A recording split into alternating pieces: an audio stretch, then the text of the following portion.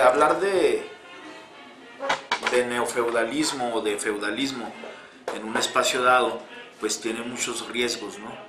Porque implica que estamos tratando de encontrar aspectos de una sociedad que se dio eh, en un modo de producción diferente al que conocemos ahora, a un modo de producción dominante en el mundo que es el capitalismo.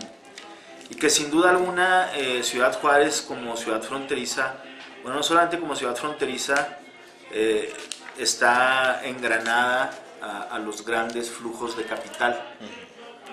¿Cómo hablar entonces de feudalismo en una ciudad que pudiéramos decir que es que surgió con el capitalismo, que surgió precisamente como ciudad, no, no digo como villa, que antes era Villa Paso del Norte, sino como ciudad surge en el 1988 precisamente eh, porque se había hecho un gran trato eh, comercial, eh, se había declarado una zona libre de comercio en, en, el Paso del Norte y eso implicó que muchos capitales de, de, del lado norteamericano pasaran a Ciudad Juárez a hacer el comercio en Ciudad Juárez. Entonces ahí en ese contexto es cuando surge la ciudad. Entonces, ¿cómo hablar pues de, de algo que es feudal en una sociedad que es eminentemente capitalista? Bueno, entendiendo un poco lo que, lo que era el feudalismo o a qué nos referimos con feudal. Y el feudalismo era un sistema de producción, un sistema político, un sistema de valores que estaba determinado por la posesión de la tierra. O sea, la posesión de la tierra era, digamos, la cuestión del poder en el régimen feudal. El que poseía mayor, más tierras y obviamente cobraba, este, cobraba a la gente que vivía en esas tierras eh, su, sus impuestos, ¿sí? Eh, era la que tenía más poder en, en el sistema feudal. En el sistema capitalista ya son las grandes, eh, la gran producción fabril, como la de, eh, la de, los automóviles, la de las armas, electrónicos, etc. En este caso las maquilas en Juárez. Por ejemplo, las maquilas eh, en Juárez forman parte de esa gran cadena. Uh -huh. Y también la cuestión del capital financiero, de los grandes negocios que se pueden hacer eh, de un lugar a otro trasladando capitales. ¿sí? A ver, me estás diciendo que el feudalismo tiene su, su, base en la posesión de las tierras. Así es. Entonces me estás hablando también de los modos de producción y los medios de producción, que en este caso en Juárez son las maquilas.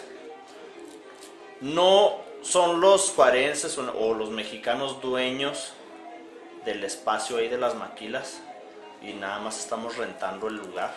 Como en el feudalismo, la cuestión de la posesión de la tierra cuenta mucho para acumular poder.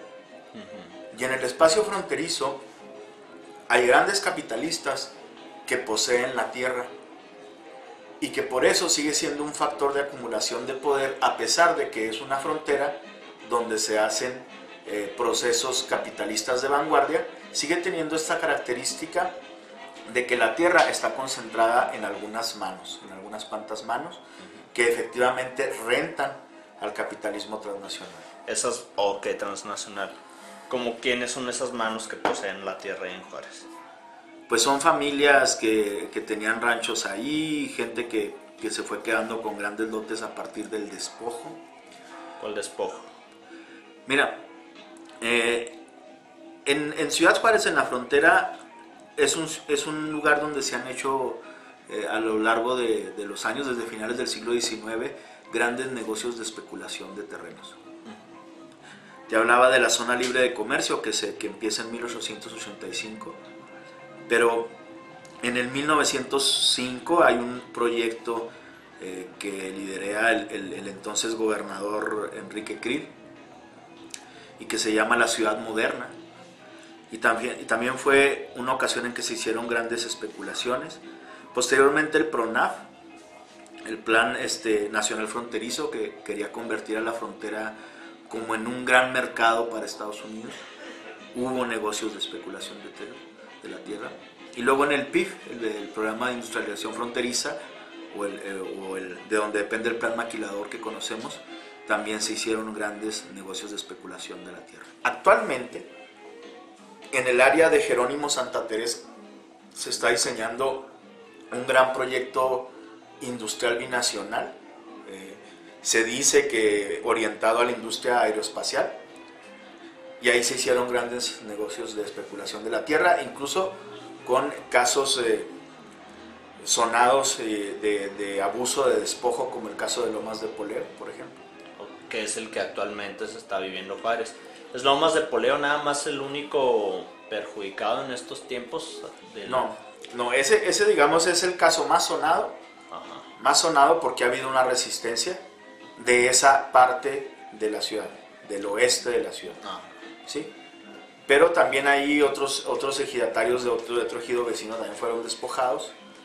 Pero actualmente también la parte este de la ciudad, eh, es decir, acá para el Valle de Juárez también hay un gran proceso de despojo de la tierra. Incluso muchísimo más masivo que el de Lomas de Poleo. Lomas de Poleo. Así es. Entonces, a, lo largo de toda esta historia que se han hecho grandes negocios de especulación de terrenos, ha habido casos de despojo de tierra. Por ejemplo, Jaime Bermúdez Cuarón, eh, que era el, líder, presidente del grupo Bermúdez, los, los que principalmente aprovecharon los terrenos dedicados a impulsar el plan de industrialización fronteriza, eh, ya siendo presidente municipal, se ve involucrado en casos de despojo en, una colonia de Ciudad Juárez para hacer un parque maquilador.